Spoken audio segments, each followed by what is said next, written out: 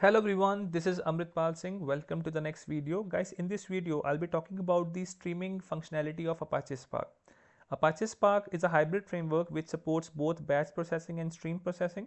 Under the stream processing, I'll be talking about the structured streaming. What is structured streaming? It's a high level API which works on the Spark SQL and it helps us in running the operations that we perform in batch mode. Now it is in a streaming mode with a lesser latency, right? It's the high level API. The older API is simple Spark streaming where we used to uh, use the DStream as a abstraction, but here we make use of data frame right behind the scenes. It's easy to use, right? That's why we are taking this as example. So in the streaming part, we just have to define three steps, defining the source, defining the transformation and defining the sink. The source for today's practical will be netcat. So what is netcat? The netcat I can show you here. I'm already opened up this official website. The netcat is a featured networking utility which reads and writes data across the network connection using TCP IP protocol. It helps us in listening or writing or reading data over the network, right? So we need to download this setup first. We can download this from the nmap.org website and I'm using a Windows platform. So I have to download for Windows, right? Simply go to that website and simply click on this link nmap-7.94 setup.exe.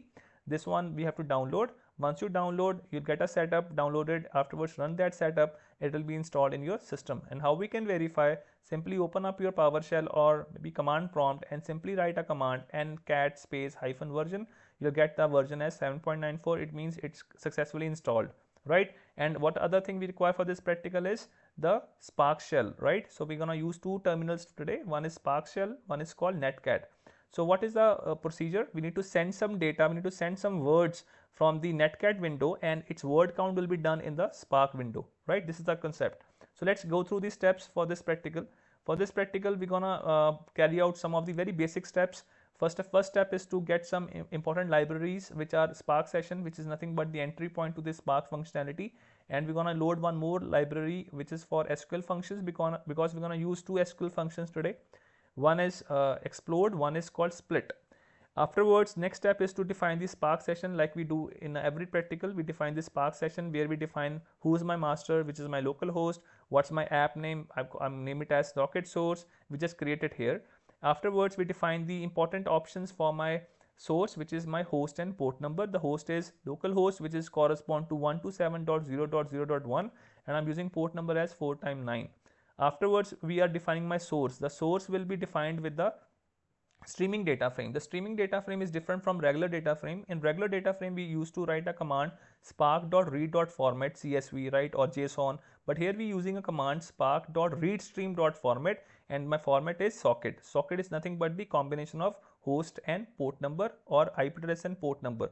My ip address is 127.0.0.1 and my port number is 4 times 9 and we defining the both the options here and then we are loading the it as a data frame. Afterwards we, we define the transformation. The transformation is nothing but a word count.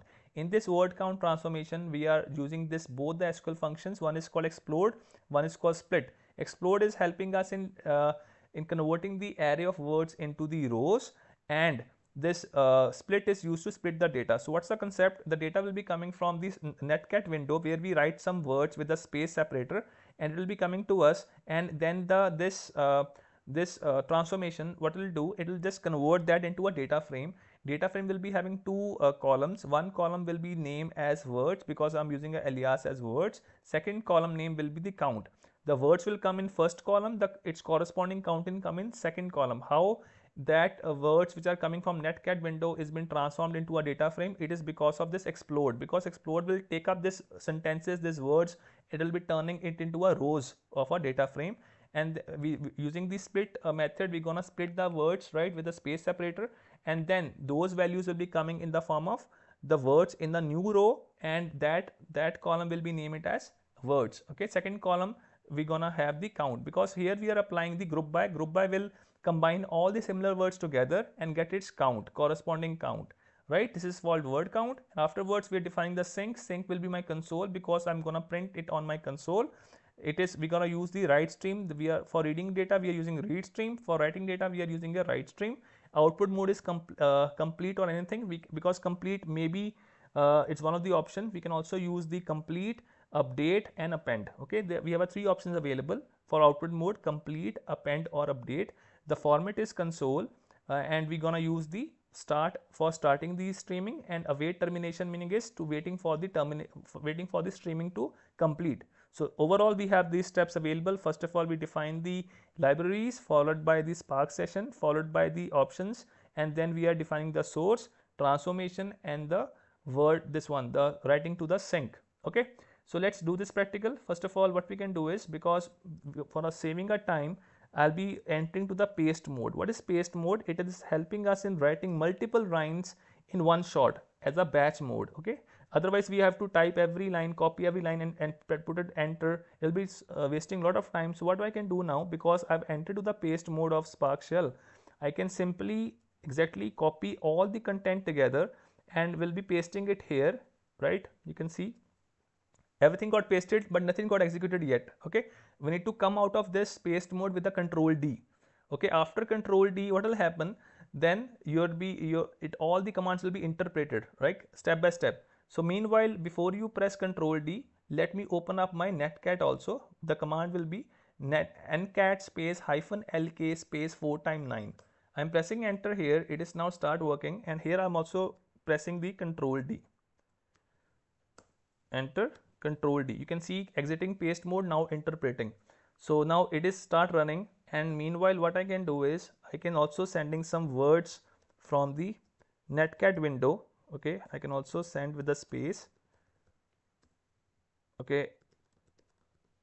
Done. So you can now see in the other terminal I'll be getting its corresponding answer. It's little slow process because it is taking some time here. You can see uh, yes. Now you can see it's now working. It's coming in a batches. Batch 0 nothing is coming. But now in the second batch you may get your answer here. Okay let me keep on sending. I'm sending the words okay? Now you will see some results very soon here you can also do this practical in IDE as well. It's up to you. Uh, just for you can see now the answer is coming. Hello is coming four time. R is coming. Okay. I'm also sending some other words. It's all coming in a micro batches. You can see now the data is coming in a form of data frame in which we have a two columns available. One is called words. One is called count. Okay. Now let's see next batch. I'll get the result of HH. So just waiting for the results to arrive it's a streaming happening. It's happening continuously. So that's why it will be consuming. You can see because of the fact i'm using complete mode that's why i'm using the previous result as well. Okay? Not only the recent result previous results as well. Okay? And now let's see if i'm getting the result of hh and then we are done for this practical.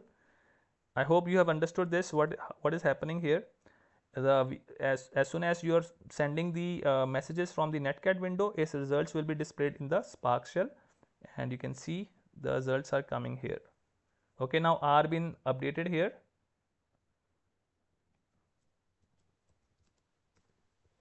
Something i'm writing. And as like simply you are sending here and you're getting the results here. This is what we are doing in this little practical. Okay so let's get some other result and we are done for today's uh, this little video right you can see now HS also got updated with the 2 and slowly you'll get all the results in the form of the data frame. I hope you must have understood from this video that what's the meaning of structured streaming and we have used today the netcat as a source. Thanks for watching guys. See you next video.